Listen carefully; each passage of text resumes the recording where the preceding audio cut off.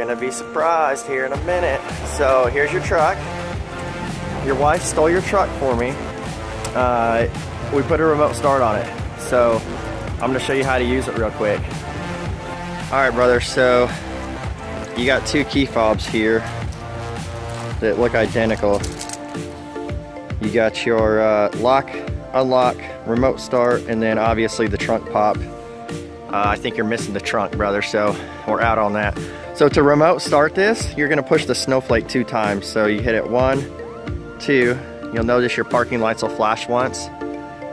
Give it a second, your truck starts, parking lights are on. You're running, I left the heater on, so um, it'll be on when I get in.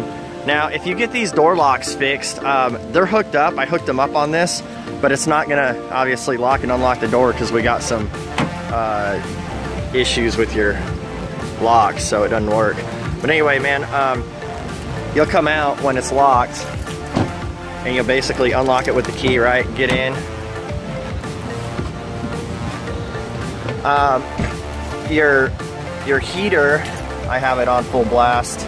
Um, just make sure that you set your air conditioner or heater to wherever you want it to kick on when you remote start it. So if you actually have this off and, and you remote start it, it's not gonna kick on on its own. So before you turn the vehicle off, just make sure you have your defrost on or whatever you want. So, um, so now we don't have a key in here.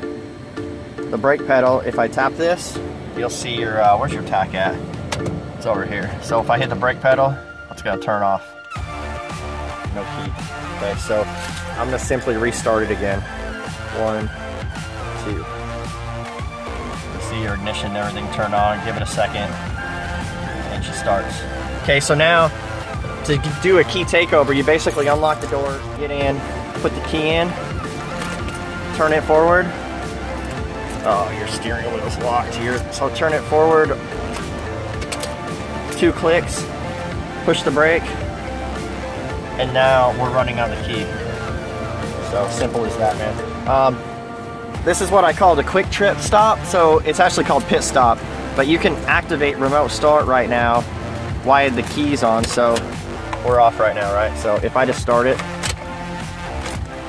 you can actually tap this button right here two times. You'll activate remote start. So you hit one, two, give it about five seconds. You'll hear some clicks under the dash. The remote start engages and now you can pull the key out.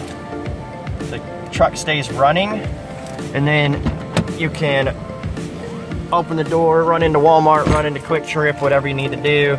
Um, lock the door before you get out. It'll stay running and you're good to go. So that's it, man. If you have any questions, hit me up. I will be happy to help you out, man. So uh, your truck should be back to you safe and sound by now. Happy birthday, man.